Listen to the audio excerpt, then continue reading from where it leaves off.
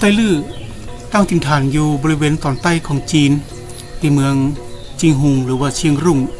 ในเขต 12 ปนามณฑลยูนานประเทศจีน เป็นศูนย์กลางของชาวไต้ลื้อที่มีประวัติศาสตร์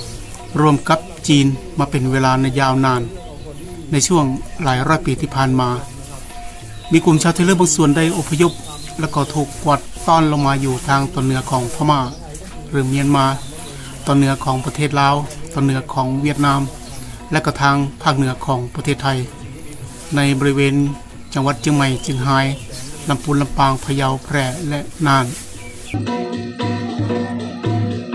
เมื่อย้ายมาตั้งถิ่นฐานตามที่ต่างๆแล้วพี่น้องชาวไตลื้อได้มีการปรับตัวเข้ากับท้องถิ่นได้อย่างกลมกลืน และมีบางส่วนที่อยู่รวมกับชุมชน ชาวไตยวนและคนเมือง และก็ได้ผสมผสานกันไป ตั้งแต่นับตั้งแต่อดีตโบราณมาจนถึงปัจจุบันนี้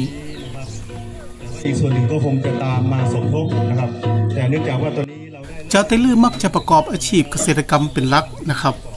ว่างเว้นก็จะนิยมทอผ้าเพื่อไว้ใจซอยและก็ถวายเป็นพุทธบูชา ถึงแม้ว่าถิ่นฐานของพี่น้องชาวไทลื้อจะกระจัดกระจายอยู่ตัวไป แต่การดำรงชีวิตของกลุ่มไทลื้อทุกแห่งจะมีความคล้ายคลึงกัน เนื่องจากมีพื้นฐานทางวัฒนธรรมที่เหมือนกัน ซึ่งก็เห็นได้ชัดเจนไม่ว่าจะเป็นเรื่องภาษา การแต่งกาย อาหารประเพณีและความเชื่อความศรัทธาในพระพุทธศาสนา ได้เอ่อไปร่วมเป็นเกียรติในการขึ้นวันใหม่แล้วก็ร่วมรับประทานอาหารกลางวันด้วยกันนี่จึงขอพาท่านไปเรียนรู้วิถีวัฒนธรรมของเจ้าไตลื้อในภาคเหนือตอนบน วันนี้เป็นบรรยากาศของการสาธิตการจำลอง ประเพณีการขึ้นเฮือนใหม่ หรือพิธีขึ้นบ้านใหม่ของชาวไตลื้อซึ่งอาจจะเป็นประเพณีที่ท่านอาจจะยังบ่เคยสัมผัสมาก่อนคุณจริงจื้อปืนจักฟ้อนกะหารสดดูก่อนในวันนี้ เมื่อย้ายมาตั้งถิ่นฐานตามตีต่างๆ ในเขตภาคเหนือแล้ว ชาวไทลื้อได้มีการปรับตัวเข้ากับท้องถิ่นได้อย่างกลมกลืน โดยเฉพาะในส่วนบ้านเรือนที่อยู่อาศัย แต่เดิมนิยมสร้างเป็นเรือนไม้ยกพื้นสูง หลังคาขนาดใหญ่ลาดเอียงคลุมลงมาจนถึงฝาเรือน ภายในเรือนเป็นโถงกว้าง และก็บ่นิยมทำหน้าต่างมากนัก เพราะว่าเป็นพื้นที่ที่มีอากาศหนาวเย็น เมื่อพี่น้องชาวไทลื้อย้ายถิ่นฐานมาอยู่ จึงมีการสร้างบ้านเรือนแบบหลังคาสองจัวตามแบบเรือนไทยวน แล้วก็มีหน้าต่างของครัวเรือนมากขึ้นเพื่อให้อากาศถ่ายเท ตุนปิดมงคุณนันทาสือตู้ลำเดินจริงว่ามือชาวไทลื้อมีวิถีชีวิตที่คล้ายคลึงกับชาวไทย หรือว่าชนเผ่าอื่นๆในภูมิภาค ก็คือการสร้างบ้านเรือนที่เป็นบ้านไม้มีใต้ถุนสูง มีครัวไฟบนบ้าน ใต้ถุนเลี้ยงสัตว์ แต่ปัจจุบันนี้วิถีชีวิตได้เปลี่ยนไป การสร้างบ้านเรือนก็เปลี่ยนแปลงไปโดยโดยเรือนตียังคงสภาพเป็นเรือนไม้แบบเดิม สถาปัตยกรรมแบบไทลื้อผสมล้านนา ยังปอมให้เห็นได้ในบางชุมชน เช่นที่บ้านทาดซบแวนบ้านยวนอำเภอเชียงคำจังหวัดพะเยาใดมันมืดล่างหินก่อนนาเด้อก็หือใดมันมืดล่างหาก่อนแขนก็หือใดมันมืดล่างแกนพญาอินหือใดมันมืดล่างสินพญานาค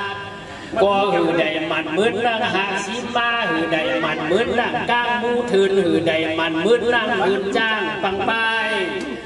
ก็ขอหือใดมันมืดล่างสังายจ้างเมหือใดมันมืดล่างเสฟัดตูมือหือใดมันมืดล่างจึงภาษา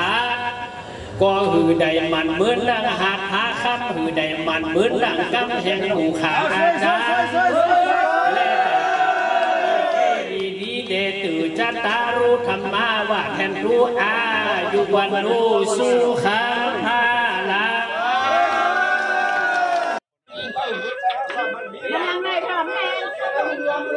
เราเคยแต่เรามาคับลือก็เป็นอัตลักษณ์ของชาวเทเลอแห่งแบบหนึ่งที่มีการถ่ายทอดสืบทอดมาหลายร้อยปี การขับลือเป็นการขับร้องเพลงชนิดหนึ่งของชาวเทเลอที่ต้องใช้ไหวพริบในการคิดบทร้องทันทีทันใด หรือจะเอาเรื่องราวในพระพุทธศาสนา เรื่องราวของการเล่าถึงประเพณีวัฒนธรรมดั้งเดิมวิถีชีวิตของชาวเตเลอร์ในรอบปี วิถีการดำเนิน ชีวิตและกิจกรรมต่างๆที่เกี่ยวข้องกับการทำมาหากิน ทั้งนี้การขับลือก็จะขับร้องรวมกับดนตรีประเภทปี หรือที่เรียกว่าปีลือ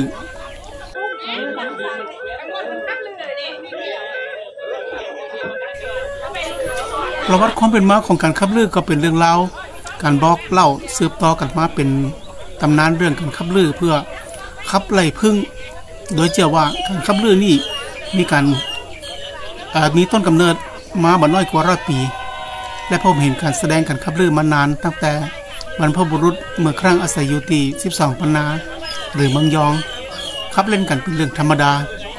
เมื่อมีกิจกรรมงานสำคัญในหมู่บ้าน ช่างขับลือเหล่านี้ก็จะได้รับเชิญไปครับแสดงความยินดี หรือครับเพื่อสร้างความรื่นเริงในหมู่บ้านเสมอตาดอกชะเดมีกาทาและชานูเริ่มชาวไตลื้อได้ตั้งบ้านเรือนอยู่ร่วมกับกลุ่มชาติพันธุ์อื่นในล้านนามายาวนานยังให้เกิดการผสมผสานด้านวัฒนธรรมเข้าตัวกัน แต่ชาวไตลื้อยังคงเอกลักษณ์ทางวัฒนธรรม เช่น ประเพณี พิธีกรรมของชาวไตลื้อเป็นพิธีเลี้ยงผีอารักษ์หรือจะห้องว่าเข้ากรรมหรือว่าเข้า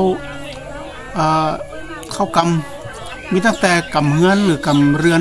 ไปจะถึงกำเมืองหรือกำกำเมืองเอ่อเจ้าเทลือให้ความสำคัญกับการอนุรักษ์สืบสานประเพณี ในแต่ละพื้นที่ เช่น งานจุลกถินตำบลศรีดอนชัยอำเภอเชียงของเชียงหายและการรวบรวมเครือข่ายไทลือจาก 12อำเภอในภาคเหนือ ก็ได้แก่ลำพูนเชียงใหม่น่านเชียงราย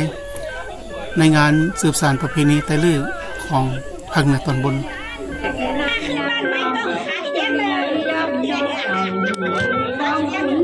ป็นว่าเป็นพิธีวันเจ้าปกครองในภายเพ